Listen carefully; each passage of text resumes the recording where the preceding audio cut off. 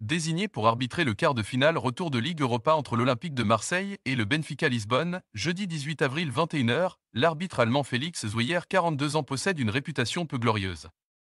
Une histoire de main lors d'un match de Ligue des Champions entre Chelsea et le Stade Rennais 3 à 0 en novembre 2020 avait notamment entaché son image.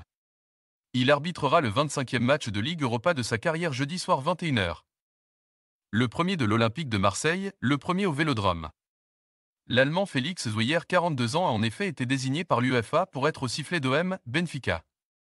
Quart de finale retour de Ligue Europa.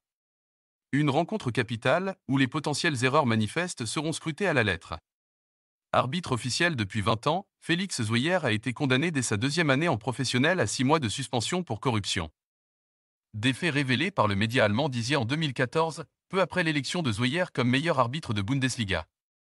Juge de touche à l'époque, il avait reçu 300 euros au noir de la part de Robert Oisé. Son supérieur, pour influer le cours d'une rencontre de deuxième division allemande. Mais seulement soupçonné à l'époque, il n'a finalement jamais été repris par la justice et a donc pu continuer son activité. Pire encore, il a même pu devenir arbitre FIFA et prendre part comme assistant vidéo lors de la Coupe du Monde 2018 en Russie. Il avait même arbitré le premier match officiel en France avec la VAR lors d'un France-Espagne. En mars 2017. Manuel Graf, autre arbitre international allemand, se demandait même comment la plus importante instance de football mondial avait pu lui donner ce droit. Certains arbitres jouissent d'un statut qu'ils ne méritent pas et qui ternissent considérablement notre image. Mais quand on a une mauvaise réputation et qu'on multiplie ensuite les performances exécrables année par année, on le paie, comme M. Zoyer. Comment peut-on arriver si loin après avoir été mêlé directement à un tel scandale? S'était-il questionné dans des propos révélés par l'équipe? Les Rennais s'en rappellent sûrement. C'était un soir de Ligue des Champions, le 4 novembre 2020, lors d'un certain Chelsea, stade Rennais 3 à 0.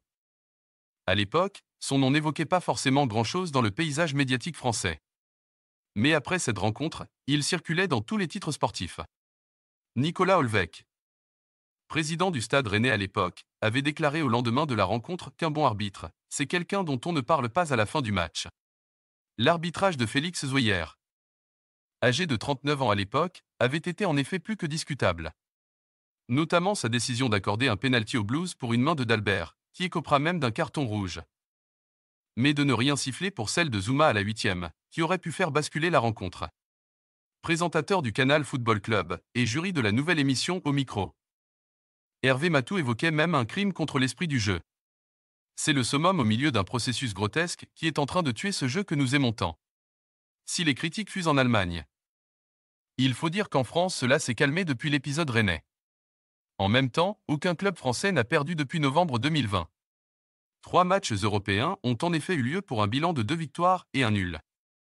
Lors de l'exercice 2021 à 2022, Lyon avait tenu en échec West Ham 1 lors d'un quart de finale aller de Ligue Europa, marqué notamment par l'expulsion directe d'Aaron Cresswell juste avant la pause.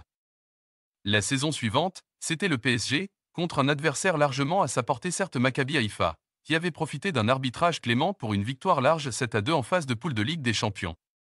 Cette saison, ce sont les Lensois qui n'ont pas eu à se plaindre.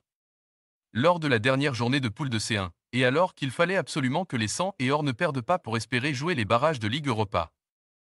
Ils avaient obtenu un pénalty plutôt généreux, transformé par Frankowski. Et si Félix Zouyer avait également accordé un pénalty au Sévillan, pour une faute pas vraiment discutable. L'issue du match n'avait pas été défavorable victoire 2 à 1. Une bonne nouvelle, donc, pour les Olympiens à quelques heures de recevoir Benfica, qui peuvent également espérer voir un grand Pierre-Emerick Aubameyang ce soir. Car, c'est à savoir, le meilleur buteur de la compétition et buteur à l'aller, se montre souvent en évidence lorsque Félix Zouyer est au sifflet. Lors de son passage à Dortmund. De 2013 à 2018, il a eu l'occasion d'inscrire 8 buts sur les 15 matchs qu'il a disputés à ses côtés. De quoi aider les Marseillais à passer une belle soirée? Réponse dans quelques heures.